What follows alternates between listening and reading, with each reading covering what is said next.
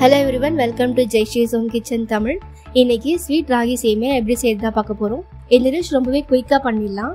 இது வந்து பிரேக்ஃபாஸ்ட்டுக்கு அப்படி இல்லைன்னா ஸ்நாக்ஸாக கூட சாப்பிடலாம். இதோட ரெசிபி பார்க்கறதுக்கு முன்னாடி இது வரைக்கும் என்னோட சேனலை சப்ஸ்கிரைப் பண்ணாமல் இருந்தீங்கன்னா இப்போ சப்ஸ்கிரைப் பண்ணிடுங்க. அண்ட் பக்கத்தில் இருக்க பெல் ஐக்கனை கிளிக் பண்ணி வச்சுக்கோங்க. அப்போ தான் நல்ல வீடியோஸ் அப்லோட் பண்ணும்போது உங்களுக்கு நோட்டிஃபிகேஷனில் வரும். ஓகே வாங்க இப்போ நம்ம ராகி ஸ்வீட் சேமியா எப்படி செய்யுதுன்னு பார்ப்போம். ஃபஸ்ட்டு ராகி சேமியாவை தண்ணியில் ஊற வச்சுக்கணும். நான் இன்னைக்கு ஒரு பேக்கெட் ராகி சேமியா எடுத்திருக்கேன். இது வந்து ஒரு ரெண்டுலேருந்து மூணு பேர் வந்து தாராளமாக சாப்பிட்லாம்.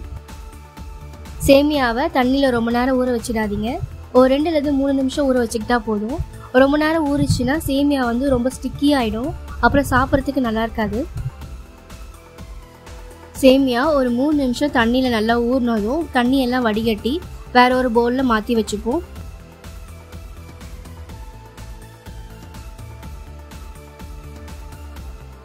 இந்த மாதிரி தண்ணியிலேருந்து வடிகட்டி எடுத்ததும் இதை வந்து நம்ம ஒரு இட்லி பாத்திரத்தில் வச்சு வேக வச்சு எடுத்துக்கலாம்.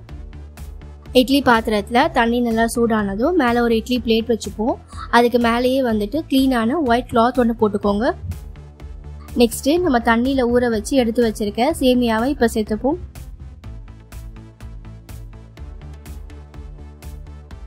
சேமியாவை எல்லாம் சேர்த்ததும் நம்ம மூடி வச்சு ஒரு பத்து நிமிஷம் மீடியம் ஃப்ளேமில் குக் பண்ணிப்போம்.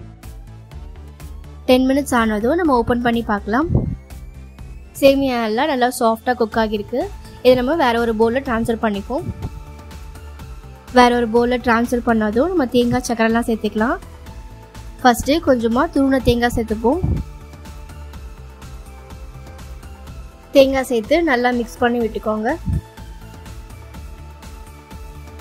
தேங்காய் சேர்த்து மிக்ஸ் பண்ணதும் நெக்ஸ்ட் நம்ம சுகர் சேர்த்துப்போம். சுகர் வந்து கொஞ்சம் கொஞ்சமாக சேர்த்து மிக்ஸ் பண்ணிக்கோங்க. ஒரேடியாக சேர்த்துட்டோன்னா ரொம்பவே ஸ்வீட் ஆகிடும் சாப்பிட்றதுக்கு நல்லா இருக்காது.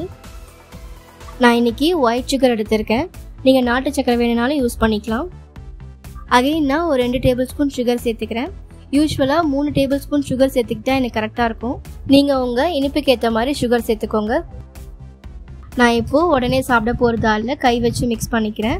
நீங்கள் கொஞ்சம் லேட்டாக சாப்பிடுவீங்க அப்படின்னா ஸ்பூன் வச்சு மிக்ஸ் பண்ணிக்கோங்க.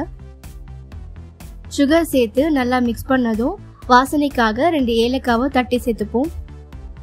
கடைசியாக ஃப்ளேவருக்காக கொஞ்சமாக நெய் சேர்த்து மிக்ஸ் பண்ணிக்கிறேன். ஏலக்காவும் நெய்யும் வந்து ஆப்ஷனல் தான். வேணுன்றவங்க ஆட் பண்ணிக்கோங்க. வேண்டாம்னா ஸ்கிப் பண்ணிக்கோங்க. எல்லாம் சேர்த்து மிக்ஸ் பண்ணதும் ஸ்வீட் ராகி சேமியா ரெடி நம்ம சர்வ் பண்ணிடலாம். இந்த ரெசிபி உங்களுக்கு பிடிச்சிருந்துச்சுன்னா லைக் பண்ணுங்கள் ஷேர் பண்ணுங்கள் ஜெய்ஷீஸ் ஹோம் கிச்சன் தமிழ் சேனலை சப்ஸ்கிரைப் பண்ணுங்கள் அண்ட் பக்கத்தில் இருக்க பெல் ஐக்கனை கிளிக் பண்ண மறந்துடாதீங்க. தேங்க்ஸ் ஃபார் வாட்சிங்